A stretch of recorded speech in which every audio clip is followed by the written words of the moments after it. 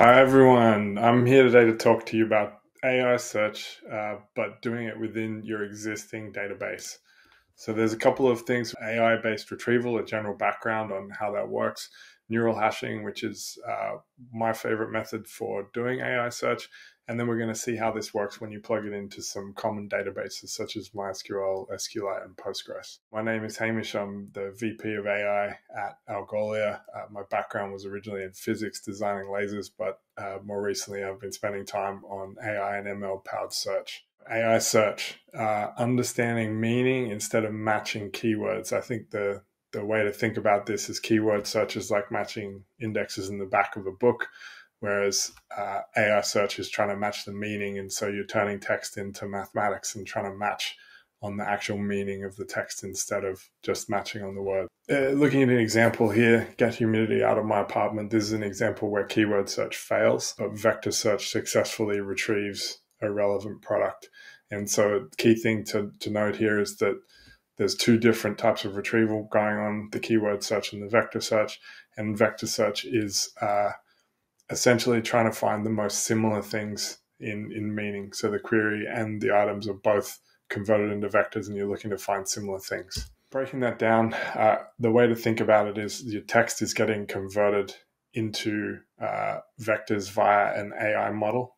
And then you're looking in the vector space here shows two dimensions, but actually in real life we use hundreds of dimensions that come from the the AI models. And you can see here that there's a product lookup and the dehumidifier is closer to the query in this case than the electric toothbrush, which is what we would expect to see. That sounds great, but when practically speaking, you want to try to find the most similar vectors in high dimensional space, it's not an easy problem. And there's a couple of trade-offs here. The the speed, precision, and affordability. The industry joke is you can only pick two, uh, which is fairly fairly true. So you have to mind your trade-offs. And then the other thing to note here is that existing databases don't have good support for vector style indexes. And so quite often this requires a duplication into a second data store, which is not, not ideal. We like neural hashes because they're a great balance of trade offs. We think they're the best balance of trade offs. And then second reason is we think that they they integrate really well into existing data stores. And if you want to see how they work, essentially you're taking the, the vector representations, passing it through another neural network, which outputs binary. And so these ones and zeros, think of it as a binary vector. But when we're doing searching, we're trying to find how many of the ones and zeros overlap between the query and the items that you're searching. And so in this case, again, we can see the, the Frigidaire product is closer uh, to the query than the electric toothbrush, which is again what we'd expect to see. But basically, the key difference here is that you're looking at binary instead of looking at floating point numbers. In a general sense, uh, databases already understand binary, which is fantastic. And these two main bitwise operations here, XOR and pop count, are what you need to integrate neural hashes into any data store. And you can see from this table here that most common uh, databases and data stores already support these. And so it's just a matter of working out how to wire it in.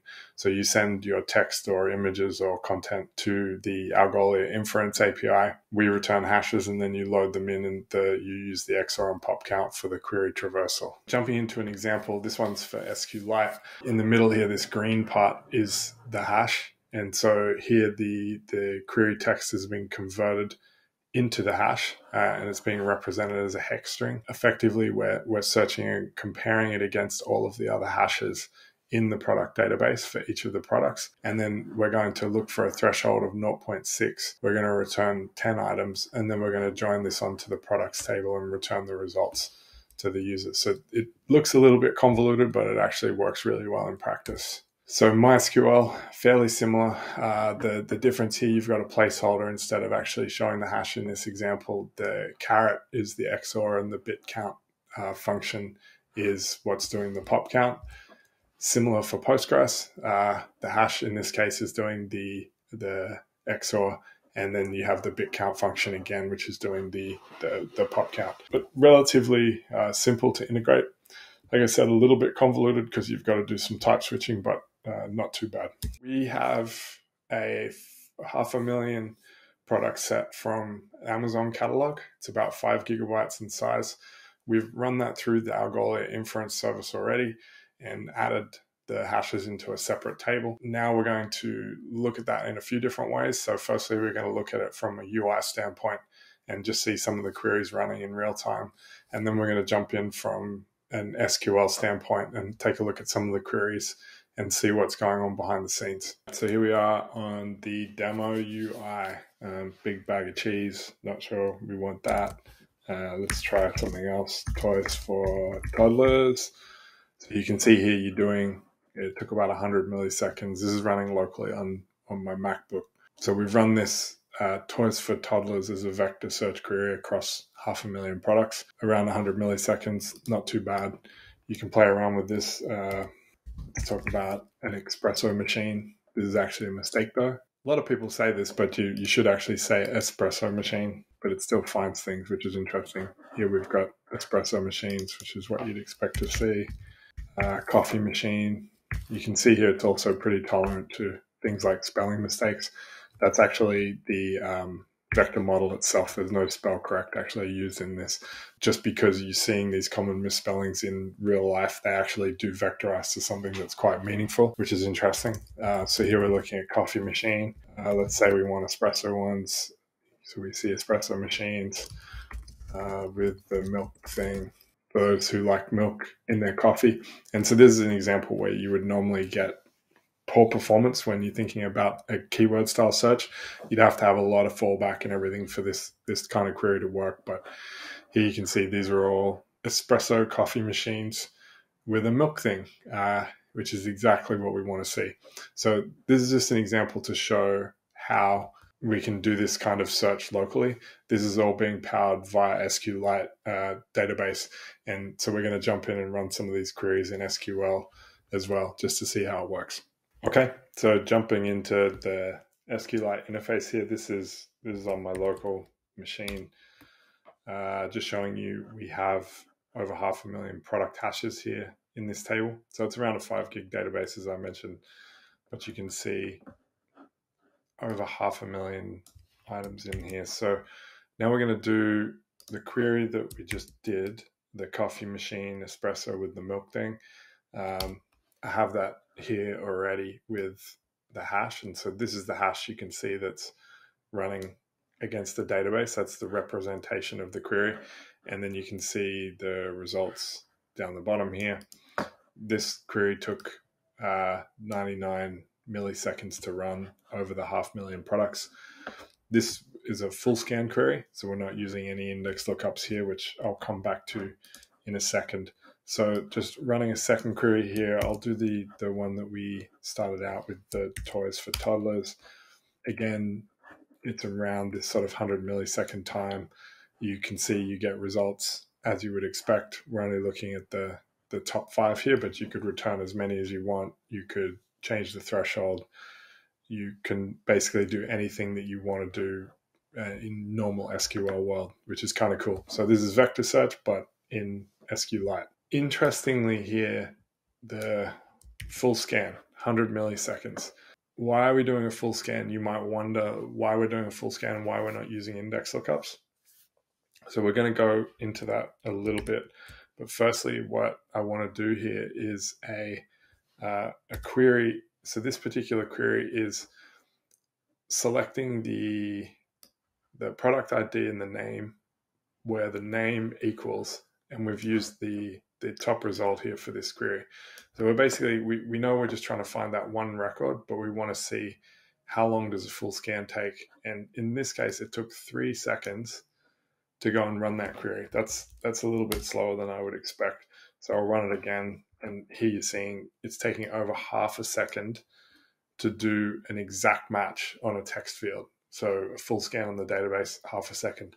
So interestingly here, when you're looking at comparing the hashes, you more than five times faster than doing a uh, a text match on a field in a database. So that kind of gives you a feel for how quick it is. It's a very very quick operation to do, uh, but obviously we can do better.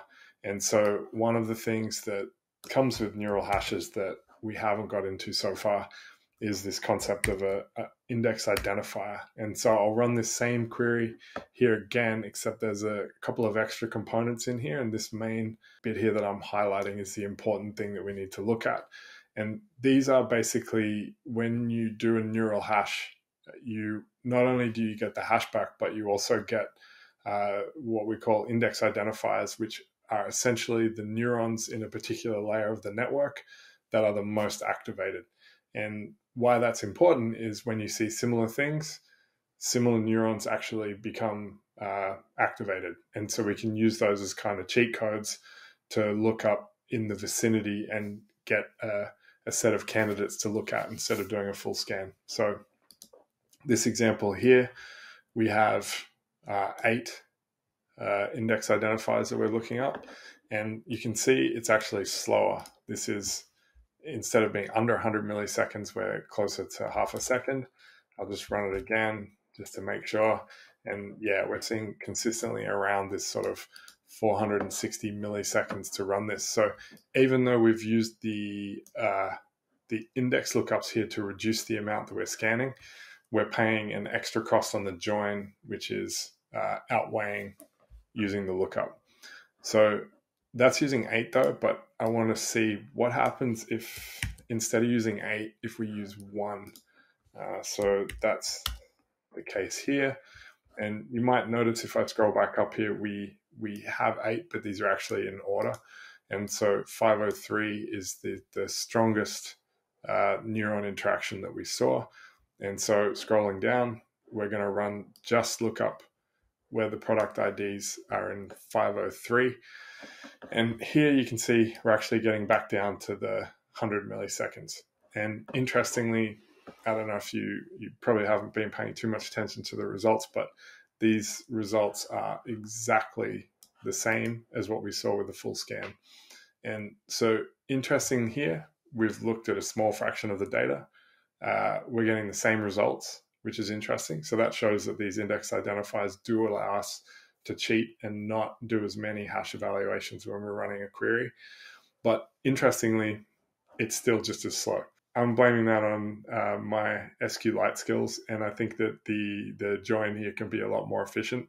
This should be a lot faster. We see when we run this local outside of a database that we're around 10 times faster, 10 to 20.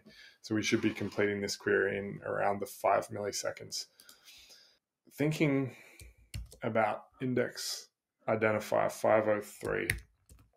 So we can run this query here, which is basically, I'll just scroll up. We want to browse the content cluster. And so in this case, we're basically saying select everything where the IID is 503. And then we're going to browse that, that content cluster. So we're going to show the top 10 uh, in that content cluster because what we want to see uh, we took this from the query where we were looking up toys for toddlers. And so we want to actually have an understanding is this a content cluster around toys for toddlers? Because if it is, that also has other useful properties where we can do things like auto classification of uh, text. We can automatically put it in categories and things like that. And what you'll see is that some of these, like the first one, yes. Uh, second one, maybe we, we got a mix here. Third one, not really. Uh, but there, there's kind of like some relationship in these, but this is not just uh, kids' toys. Definitely not just kids' toys. But you do see a bunch of things in here that are related to kids' toys. So just to get a feel out of the half a million products, we can run another query and actually have a look to see how many things. I'll bring this up a bit how many items are there in the content cluster 503? Turns out there's 30,000 items in this particular content cluster. So that's interesting because you're looking at, you know, we have about 520,000 items in this database. Uh, and of those, 30,000 of them are in this particular content cluster. So what you find is some of them are bigger, some of them are smaller and but generally you'll find that the the content overlap is uh, useful. So that's just an example to show you how we can come in here and uh, use neural hashes in a database like SQLite. I don't think it's optimized um, by any stretch of the imagination, but I think it's it's quite conceivable that even with half a million products on your local machine, you can get SQLite queries down to the the single digit milliseconds. So I think it's a great example of of what is possible, and we're really looking forward to bringing this into all databases. Moving on to thinking about like we get this question all the time how does this compare to vector databases? And so it's quite interesting to see this in um, thinking about trade-offs. The first one is uh, ram usage. Vector databases keep around the full vectors. They basically have to keep them in memory to go fast and neural hashes on the other hand are about a 20th of the size of the vectors and so you're seeing you know, 95% reduction in RAM usage just for the vector index component. And that doesn't even take into account the fact that you don't need to have an extra database running and duplication of metadata, all the filtering and other things that you need. That's quite interesting. Speed's pretty much a wash. They both get to pretty high speed and throughput at scale. Recall, slight advantage to vector databases because they keep the vectors around. Uh, they can get right down to you know accuracy levels in ordering that is not possible with neural hashes but in practice we find that that's actually not uh, an issue in real world applications. We've got some full benchmarks coming out soon to explain why. Crud support and workflow obviously these are both a huge win from neural hash and database standpoint crud support mainly because you can do everything you can do in a database and it just works uh, in vector databases, that's not the case. There's support for updates and deletes is so-so, and uh, many of them also you need all the data up front. Uh, they don't vacuum and uh, collapse in on space, and lots of other features that you're used to with CRUD support that databases just handle well. So there's a big advantage there. in workflow, obviously, if you're working within your existing database, you don't need to manage the replication and synchronizing of data to somewhere else so there's huge uh, advantages there, and you don't have to run uh, other infrastructure. So big win there as well.